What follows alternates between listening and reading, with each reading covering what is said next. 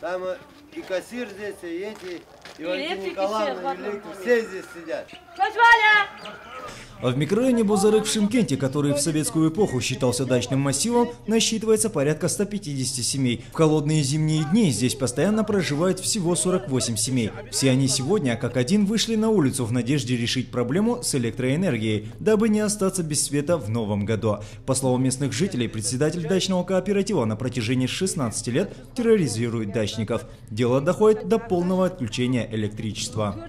жүрегім ауырмайды ешкім жұмыс Я уже устала жить так в темноте. Сколько может это продолжаться? У меня температура поднялась и давление. Понимаю, если бы я была должником, но у меня даже переплата по счетчику, а света нет. онда өлтіріп тастасын мені Қарызың жоқ қой? қарызым жоқ ешқандай қарызым жоқ міне документ Это просто ее личные как бы инициативы и личный произвол. Ничего там не... А в суд нельзя подать?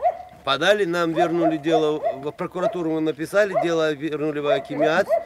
Акимиат отдал местному управлению. Местное управление, сейчас вот якобы разбираемся уже, мы правда уже какой год разбираемся, ну никак.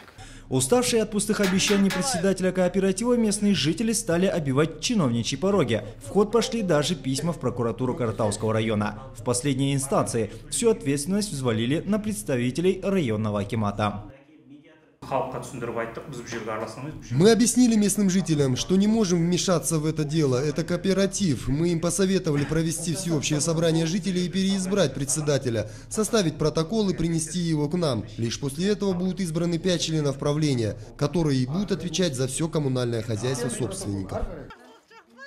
Дачники уже избрали нового председателя. Составленный протокол заседания жители дачного кооператива направили в районный акимат. Но тут началась новая волокита. Оказалось, что получить документы от бывшего председателя кооператива не так-то просто. Сегодня местные жители вынуждены осаждать дом бывшего главы кооператива.